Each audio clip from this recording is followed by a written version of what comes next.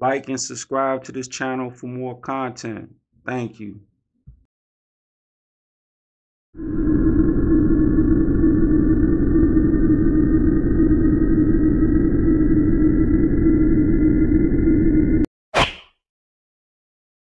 You're watching the Boss Trell story. Sit back and relax. Ain't this Young Money? Young Money yet? What's this? About this action, man. We is out here, man. TYMB. TY, man. TDN. TYM. Out here at all. Cottage Grove. Back towards the land. Man, back towards the S, man. Back man. towards the ass. We Fuck. walking, man. We got Niggas we be at, to man. Chris World. We on feet. We ain't on oh, Boss. Trell, man. On G, man. He out here. Boss Trell was STL's top hitter. He was allegedly involved in three murders at the age 16. In the beginning, STL was looked at as a weak set. At the time they were only known to be fighters, Boss Trell made STL a dangerous hood by putting in work. According to FBG Cash, Boss Trell kept the hood safe. Not only was he the number one shooter, he provided other members with guns. To this day, he's one of STL's most respected members. This is his story.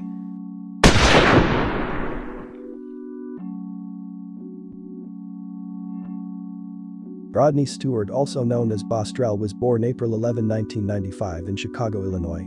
Him and his family lived on the low end before moving to St. Lawrence.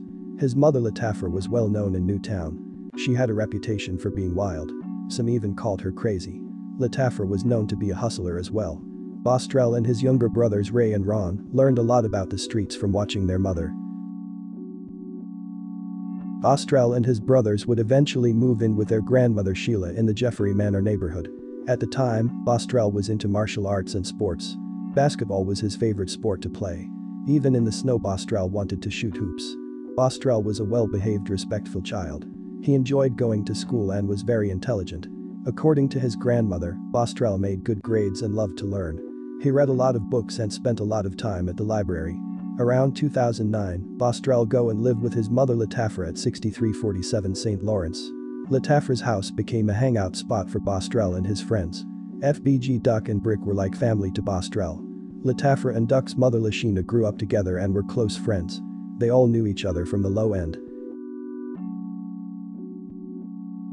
Around this time, Boss Trell's younger brother Ray began making a name for himself in the Jeffrey Manor neighborhood. He claimed a renegade gang by the name of Lafa. Ray and Ron were both still living with their grandmother, but often came to visit Boss Trell and Latafra. By 2010, Boss Trell was dealing drugs and hanging with older guys such as FBG Cash. Selling drugs was easy for Boss Trell. Latafra basically ran a crack house. Thousands of dollars was made at 6347. When STL was created, Boss Trell was one of the first members. After Tooka was killed in 2011, Boss Trell began buying guns and going out on hits with other STL, Mob and Jero City members. At the time TYMB was STL and EBT biggest ops. A lot of fights and shootouts often took place. STL EBT pretty much bullied TYMB and even allegedly killed a few of their members.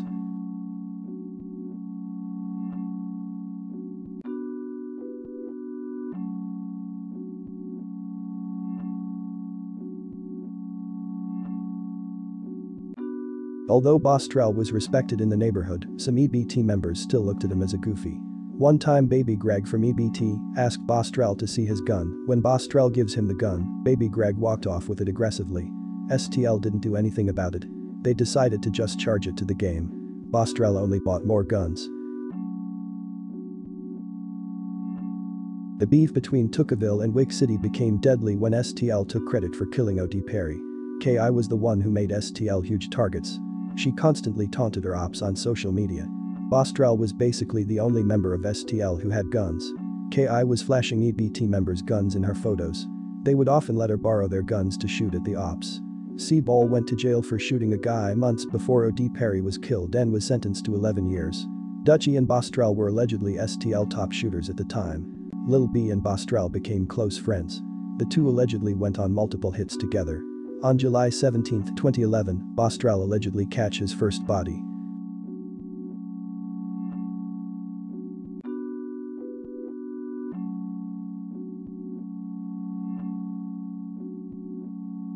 Marcus London also known as Boldy from 600 was shot in the head on the 6000 block of South Prairie Avenue at around 12.55 am. He was pronounced dead at 4.30 pm. Boldy was 19 years old.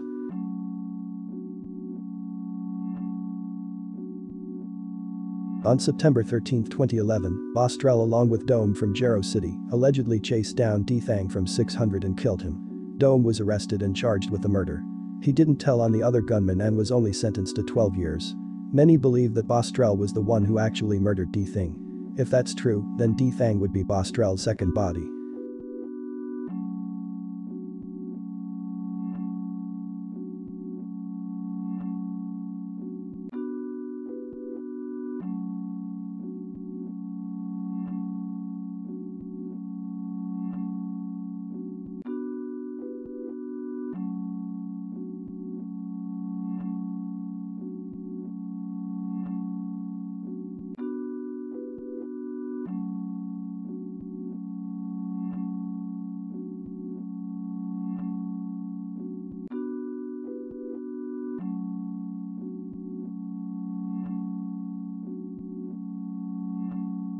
On February 16, 2012, Boss Trell allegedly catch his third and final body. Boss Trell along with another STL member was out looking for ops near Parkway Gardens. At around 6.30 pm, Boss Trell allegedly shot 19-year-old Sheroid Liggins in the head from across the street using a red beam. Sheroid was found laying on the ground minutes later and was rushed to the hospital. He was pronounced dead days later. Sheroid was a loved O Block member. He's the younger brother of O Block C murder. Many say that Sheroid was a peaceful guy. He enjoyed drawing and doing hair. Many don't know that Sheroid was a singer. If he was alive today he would most likely be a famous R&B artist. His death broke a lot of people's hearts. O Block 600 wanted Boss Trell dead. The word went around fast that he was Sheroid's killer. The police began harassing Boss Trell after Sheroid was killed. In June of 2012, Boss Trell, Dutchy and a few other Tookaville members had allegedly shot up O Block and ran back to St. Lawrence. After making it back to St. Lawrence, they were aggressively approached by two officers in a squad car. Boss Trell and Dutchy take off running. Boss Trell was hit with a squad car and Dutchy was shot by an officer. The officer claimed that Dutchy had a gun, however no weapon was found on the scene. Dutchy and his family filed a lawsuit against the Chicago Police Department and it was later settled out of court. As I said before, Boss Trell was basically the only STL member who had guns at the time. When other STL members needed guns, they ran to Boss Trell. Members such as Medell and Manman were even carrying around BB guns. One day Boss Trell let FBG Young use the gun to walk somewhere in the neighborhood. At the time STL was feuding with members of Jero City. Boss Trell was on crutches after being ran over by the police, and Dutchy was on house arrest. When Young and other STL members were walking through the neighborhood, a Jero City member fired shots at them. For some reason Young didn't return fire. Boss Trell heard the gunshots from his house and thought that FBG Young shot at Jero members. When Young and the others returned, Boss Trell was upset with Young when he found out that he didn't shoot back. He told him that he's making STL look weak. Other hoods were already giving STL a hard time because KI was false claiming bodies. Boss Trell was also friends with Lil Jojo from Brick Squad. Lil Jojo heard about all the work Boss Trell put in. This was around the time he dropped BDK. Lil Jojo was the next big thing in Chicago. Boss Trell was a part of the BDK movement. Lil Jojo even rapped about Boss Trell beating up Lil Durk. Many don't know that Boss Trell rapped as well. He was already becoming famous on social media and often talked about making music. When Lil Jojo was killed in September of that year, Boss Trell wanted revenge.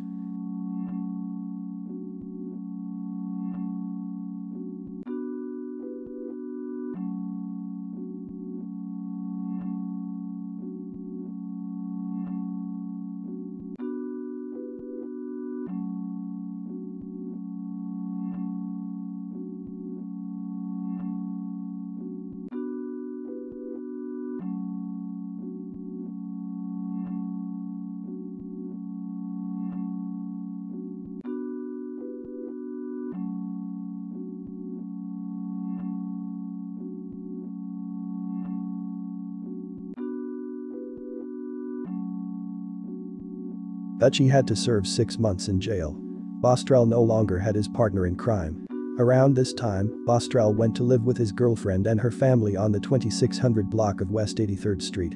While staying there, his girlfriend's brother had allegedly stole one of his guns.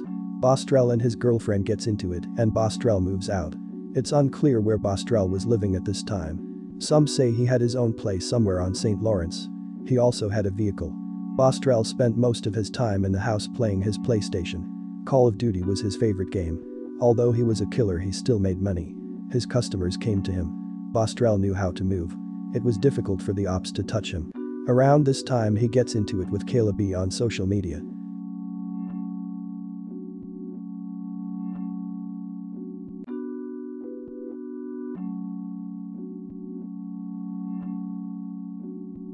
Boss Trell planned to move to Iowa and live with some friends. He was ready to change his life. After saving up money Boss Trell purchased a bus ticket to Iowa. He planned on leaving November 7th. But first he wanted his gun back from his ex-girlfriend's brother. After asking several STL members to come with him to get back the gun, Boss Trell decided to go by himself when they all refused to help.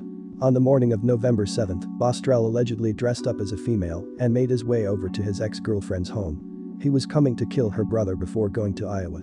It would have been a successful hit if Boss Trell wasn't texting her phone hours prior making threats. Her brother and his friends were allegedly waiting in the gangway for Boss Trell to arrive.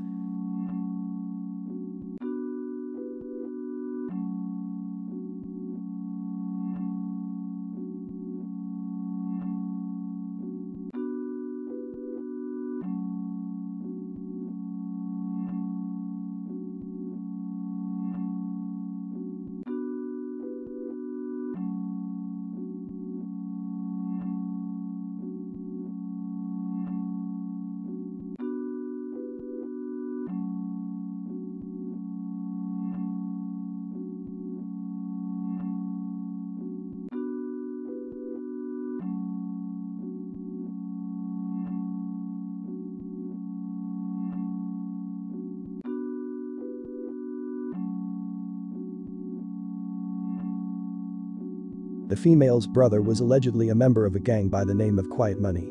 Quiet Money is a mostly black disciple gang located on 83rd Street.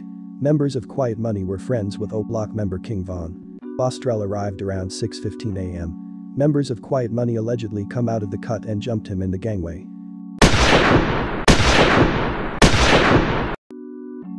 The bullet struck Boss Trell in the back of the head. At around 6.50, Boss Trell was found laying in the gangway.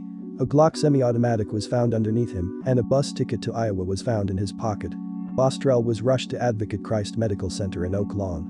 Letafra and other family members rushed to the hospital to see Boss Trell. FBG Duck and other STL members rushed to the hospital also. A brain-dead Boss Trell was on a breathing machine. It wasn't much more the doctors could do.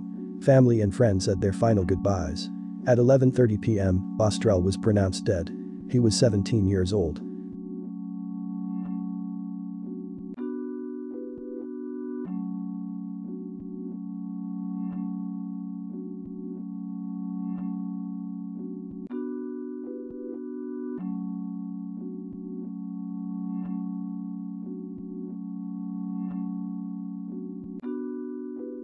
Dutchy had to mourn alone in a jail cell. Many believed that if Dutchy was free Boss Trell would still be alive. Dutchy wouldn't have let Boss Trell slide alone. Many STL, EBT, Jero City and even mob members were heartbroken about Boss Trell. He was loved in the neighborhood.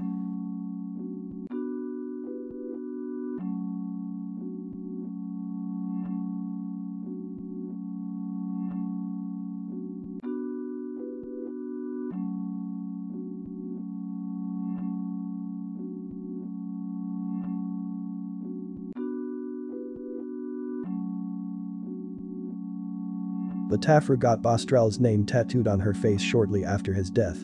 She later moved to Minnesota to start a new life. In April of 2020 she was found dead. The cause of death is unknown.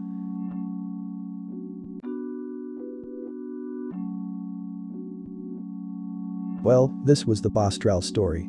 Thank you all for watching. See you next time.